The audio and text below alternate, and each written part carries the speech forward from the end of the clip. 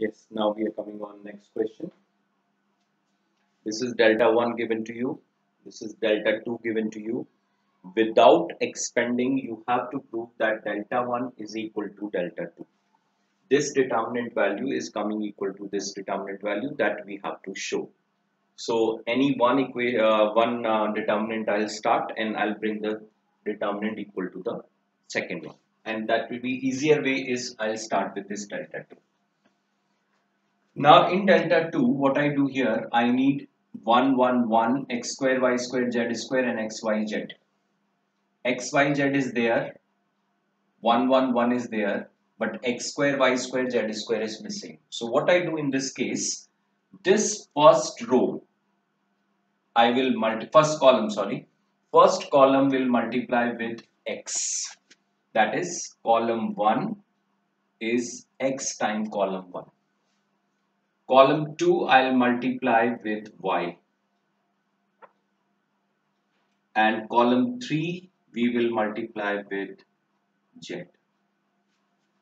As you are multiplying something you should multiply with a single row or a single column. So I told you column multiply with x. As you are taking some extra term inside you should divide it also. So first column when you multiply it by x you are taking 1 by x outside because this is the extra term you are taking. So it will come x, x, y, z, it will be x square. Then second column we will multiply it by y, so it's divided by y also. Then when you do it, it is y, x, y, z, and this is y square. And then third will be with z, so it will be z, x, y, z, and then it is z square. Is this clear? Now, and one more z is here because you are multiplying it by z, so divide by z. After this operation, so it's a good operation you should remember. After this operation, now one thing is clear that xyz is coming common from column 2, uh, sorry, row 2. So when you take row 2, xyz common, left is xyz by xyz. Here it comes xyz 1 1 1 and here it comes x square y square and z square is this okay? After getting this result now what you want you want this should come at first place right? So i interchange these two. So next step will be again important one. And i told you whenever there is a row two rows we are interchanging or two column you are interchanging one minus you should bring in front. So here what I'm doing here row 1 and row 2 interchange. So R1 changed by R2 when you do this it is minus. So it is 1 1 1 x y z x square y square z square. Now you want x square y square z square will be in the second place second row and third x y z. So means still one more change is needed so next change will be R2 and R3 got interchange. When you do this, one more minus will come in front. Whenever one more minus comes, it will become plus. So what it will come? 1, 1, 1. This will go here. x square, y square, z square. This will be x, y and z. Right or no? Minus was there. One more change created that will become plus and that's why this result is now coming equal to delta 1 you have started with delta 2 you got delta 1 equal. So delta 1 and delta 2 are coming equal. So this way you can use the properties and prove delta 1 is equal to delta 2 one more question like this i am taking. Note it please. If delta 1 is abc xyz and PQR.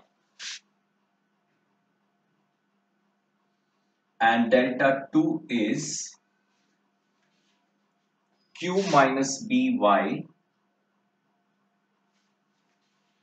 minus PA minus X and R minus CZ.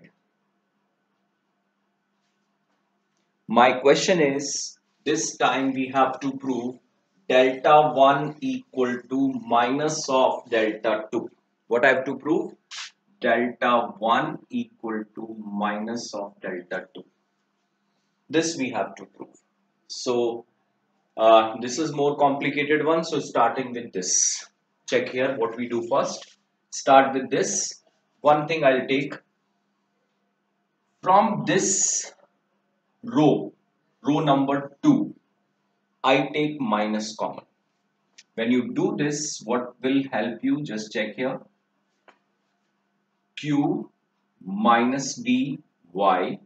And as you are taking minus common from it so it will become p. This will be minus a this will be x. R minus c and z. How it will help you? All the element in one column are coming minus. So that also I can take common so I'll take one more minus common. Common we are taking from column 2 as you are taking common minus and minus will become plus. The left is q b y p a x r c z. This is okay? Now check compare these two. What is the difference here? ABC coming in column and here it is in row. XYZ is in column, it is in row. PQR is in column, it is in row. So we just take transpose on both sides. We have done this property also. Determinant A is determinant of A transpose. So converting rows to column and columns to row. So this property if I use, what this will come now? It will come Q, P, R, B, a, C, Y, X, Z.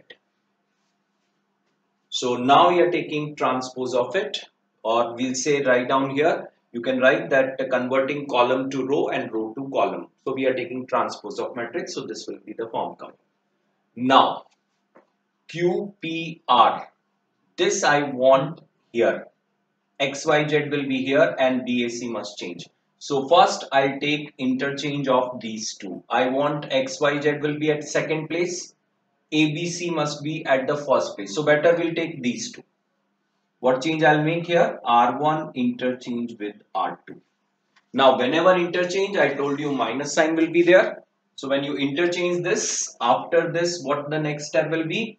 Minus will come in front and here it will be B A C then Q P R Y X Z. Okay. Second thing, I want this to be here and this to be here. That means again we will interchange. So this time interchange will be in R2 and R3. So when you do it, it will become plus B A C. It will be Y xz then it will be qpr so it will become plus. Is this right? After this what change you want now? X should be at first place. Y should be at second place. So this time we are interchanging column 1 and column 2 when you interchange this one more minus will be here. One more minus means it will be a x p then B, Y, Q and then C, Z, R. And is it your minus of delta 1? Yes. So delta 2 is coming equal to minus delta 1. That will be the result we have. Clear? Now we are taking next question please. Note it. So this way you can start doing questions. That is nothing new in this one uh, you can do it these questions easily uh, next question very simple one I'm taking that is evaluate 1 1 1 a a square b b square c c square. Evaluate this value. We have to find out or you have to evaluate this. Till now whatever the determinant we have done in the beginning all the results came zero because there was some symmetry visible or something common and make uh, two columns or two rows identical. Second type of question, one determinant converted into another determinant. Now we want evaluation of it without expanding. So that you should keep in mind. Now, whenever without expanding question they will ask and you can't make it equal rows or equal columns, it is clearly visible that it is not there. Then what we do here, whenever three ones are visible to you, create two zeros. Means I'll create zero here and I create zero here. What is the first thing what I'll do here? This is row 2. From that I subtract row 1. So on R2, R2 minus of R1. When you do this, 1 A A square, this will be 0, B minus A, B square minus A square. This is 1 C C square. Another 0. Now we go for R3. When you go for R3, it will be R3 minus R1 again. When you solve it, it will be 1a and a square, 0, b minus a. Here I'll write b minus a and b plus a. Here it comes 0, c minus a, c square minus a square. So I'll write c minus a and c plus a. Is this clear? After getting this result, b minus a will be common from this row c minus a common from third row. So I take them common b minus a into c minus a. Left is 1a a square 0 1 b plus a 0 1 c plus a. This is the result we have.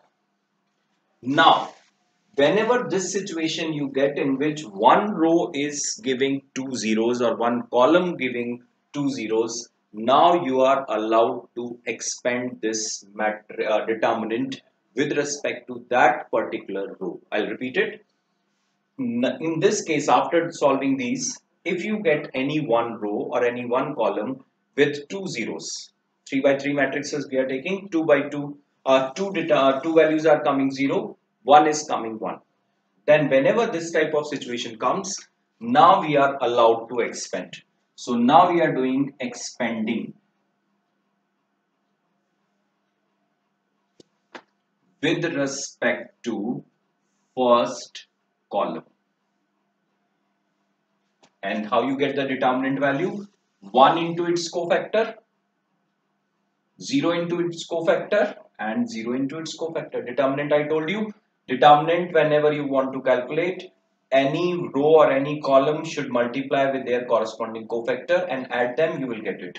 So it will be 1 into.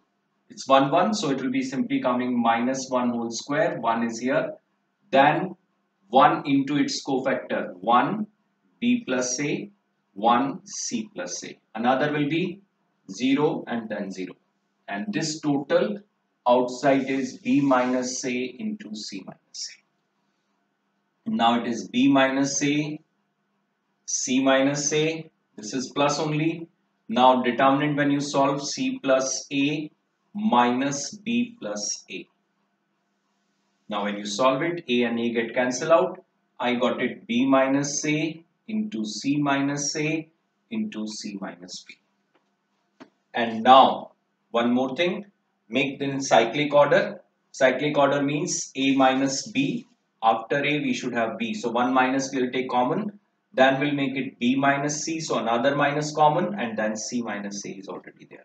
So the answer of this question come out to be A minus B, B minus C, C minus A. This type of questions we will do next time.